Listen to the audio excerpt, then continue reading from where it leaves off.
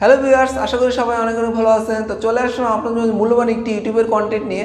তো আজকে আমি আলোচনা করব কীভাবে আপনি যে কাউকে ব্লক করতে পারেন এবং যদি কাউকে ব্লক করেন, সেক্ষেত্রে আবার কিন্তু আনব্লকও করতে পারবেন। তো কীভাবে ব্লক করতে হয়, কীভাবে আনব্লক করতে হয়, সেটা পুরো প্রসেসটা আমি দেখিয়ে দিচ্ছি। তো ভিডিওটি শুরু করার আগে ছোট্ট একটি রিকোয়েস্ট আপনি যখন চ্যানেল নতুন হয়ে থাকেন, তাহলে অবশ্যই সাবস্ক্রাইব করে পাশে থাকবেন। তো আমরা যেমন ফেসবুকে যেভাবে ব্লগ করি, আমরা ইউটিউবে কিন্তু ব্লগ করতে পারি। তো আপনার ভিডিওতে যদি কেউ বাজে কমেন্ট করে, সেক্ষেত্রে কিন্তু আপনি তাকে ব্লক করে দিতে পারেন। তো দেখুন, আমরা ব্লক করার জন্য আমার আমি একটা, দেখুন কমেন্টে আমি দেখিয়ে দিচ্ছি। আমি ওয়াইটি স্টুডিওটা চালু করলাম। তো চালু করার পর এখানে দেখুন যে অনেকগুলো কমেন্ট দেখা যাচ্ছে। আপনি যদি কাউকে ব্লক করতে চান, তো সেক্ষেত্রে দেখুন যে কমেন্টটা আছে, এই কমেন্টে আপনি এই যে ক্লিক করবেন। তো ক্লিক করার পর এখানে পাশে দেখুন থ্রি ডট আছে, তো থ্রি ডটে আপনি ক্লিক করবেন।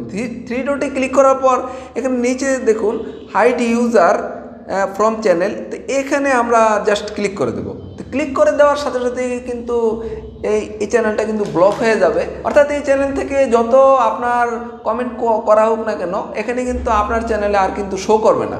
তো কখনো কখনো কিন্তু আমরা ভুলবশত আমরা কাউকে ব্লক করে দিতে পারি, অথবা ব্লক করে দেওয়ার পর পরবর্তীতে আপনি চিন্তা করলেন, না, তাকে আমি আনব্লক করব।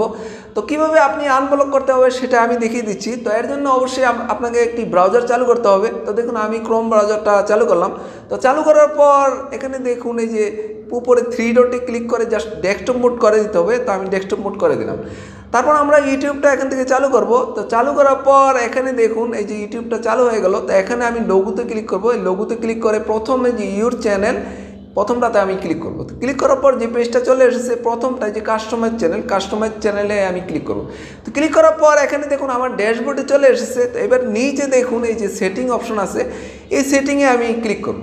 তো সেটিংয়ে ক্লিক করার পর এখানে দেখুন যে একটা পেজ চলে এসেছে। এখান থেকে এখানে দেখুন একবার নিচের উপরেরটা, এই যে কমিউনিটি এই কমিউনিটিতে আমরা ক্লিক করব।